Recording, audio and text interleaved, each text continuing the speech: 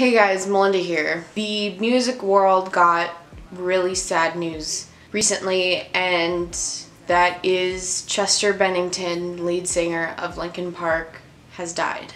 I was speechless when I found that out and I could not stop crying. If you guys aren't aware, Linkin Park is my favorite band and has been ever since I was a little kid. They have been with me through all of the bad times in my life, have been with me through the good.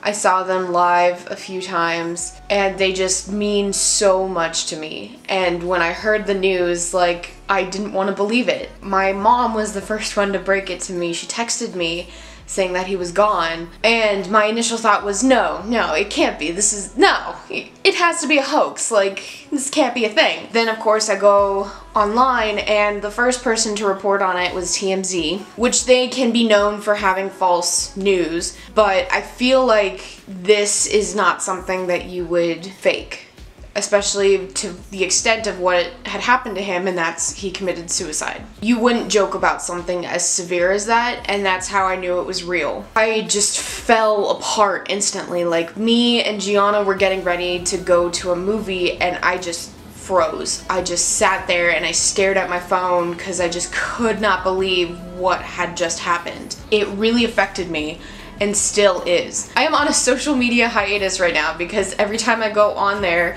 there's some new article or picture about Chester and it just makes me so sad that I almost start crying still. And I just needed a, a break from it. Like, I, I didn't want to do that to myself, and I knew the appropriate thing that I really wanted to do was make this video about it because suicide is not something that I take lightly. I've said this in other videos, but if you're new to my channel and you aren't aware, I lost a friend many, many years ago to suicide.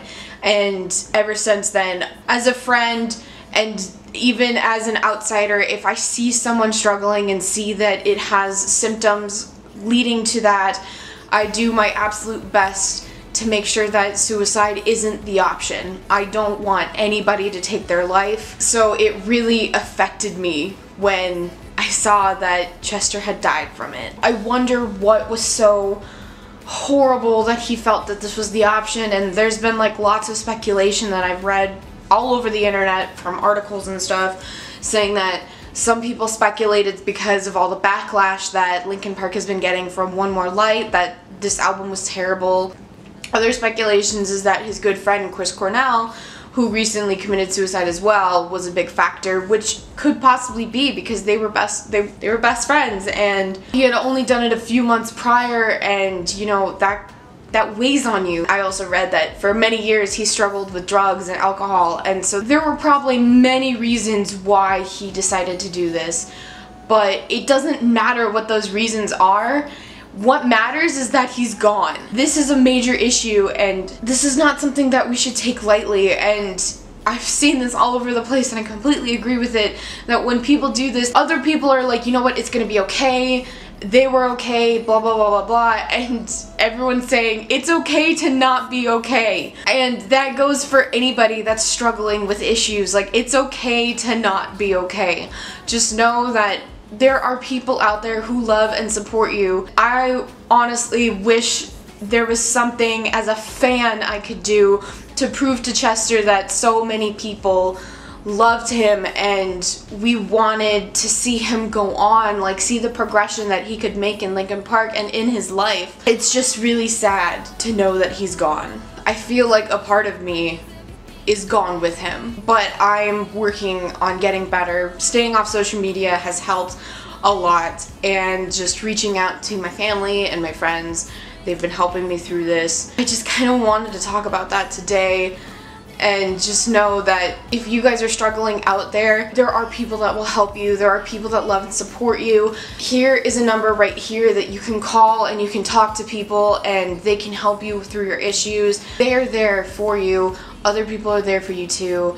And it's important that we address this issue as important as it is. So I'm sorry about the really sad video today, but I just really wanted to get this message out and I just have not had the courage within myself to make this just because I've been sad ever since the news. That's it for today's video. I hope you guys enjoyed.